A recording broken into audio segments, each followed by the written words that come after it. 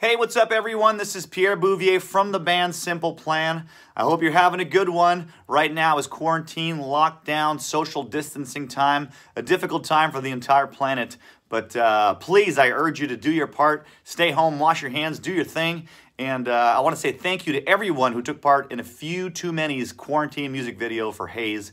It's great to see this positivity during a dark time, especially in the pop punk community. Um, so here's the video. Enjoy. It's